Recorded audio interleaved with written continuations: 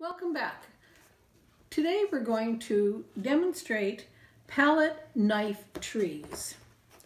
Really wonderful, easy way to do birch trees. And of course, like everything else, there's always a trick. This is a palette knife, just a plastic palette knife. You can use anything you want. And once again, you can use the edge of a credit card. This one I like because it's got two different sizes. It's got a long edge and a short edge. Also, I will be using a liner brush, which is a long, thin brush. It's called a script brush or a liner brush. It, the, in the description of the brush is long, thin hairs. Okay, now, do we need to draw too much for this? If you do, make sure you do it very gently and carefully little bit of ground, and you don't want to drop too dark because you're going to have to erase this pencil after. So I'm just giving myself an indication of where I'm going to need to make my main tree trunk. The rest of the branches will be painted with our liner brush or the edge of the palette knife it's very important how you load your palette knife. So once again, you're going to need some ultramarine and some burnt sienna. And I like to put those next to each other because in the middle here, when I mix them together, I get some brown. And if I mix just a little bit over here, I will get black. Burnt sienna and ultramarine will make the whole host of browns as well as black. Practice mixing your paint. It's also very important how wet this is. So when you drag your brush through, you can see the walls slowly close in. That's what you're looking for is medium wet paint. Let's check this out. Yeah, they all look about the same. So I've got a whole mixture of paint here because I want my painting to have a variety of colors. Okay, this is how you use your brush. You're going to determine the outside of your painting. That's where I'm going to want my shadow side of the tree. So I'm going to turn it this way with my shadow side away from me.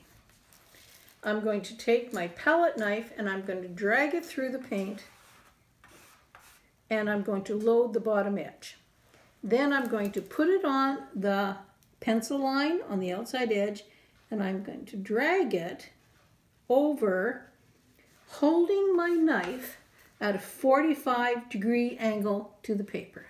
Let's have a look this way. You can see that I need to hold it way down and drag it. A hint for this to make it realistic is to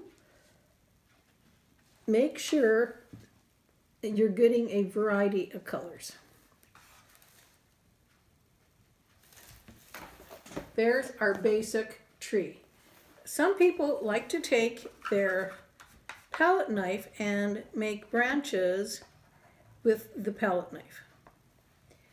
That works out very nicely, or you can take your liner loading a liner is very important. You must roll it in your paper and completely fill your brush. If you think you're going to be doing lots of lines, you could use a sable brush which holds more water and stays wet longer. So roll your brush, completely sopping that brush. Now I like to move my board around so that I can get my hand comfortably in a left to right motion. I'm going to stop here so that it bleeds into this tree and I'm going to lower my brush and as I'm going out I'm going to lift it to the tip. That makes a tapered line. Now I tend to like to jerk my hand because it looks more realistic for twigs I've got a pretty steady hand and I find that if I don't jerk my hand, my lines are way too straight. So that's my trick to doing wonderful birch tree with lots of branches and twigs. I like to make sure the, the branch comes from a wet area because what happens is it bleeds in there and it looks like it belongs. A little addition to this is you can take your brown and hold your brush further up, anchor your brush here and flick it. And by flicking in an upward motion, you can use your liner to also paint grass.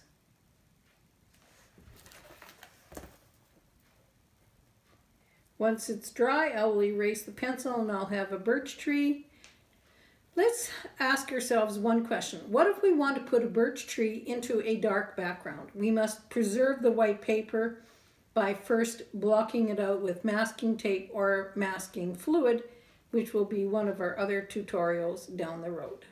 So enjoy birch trees with a palette knife and liner brush. Thank you. See you again soon.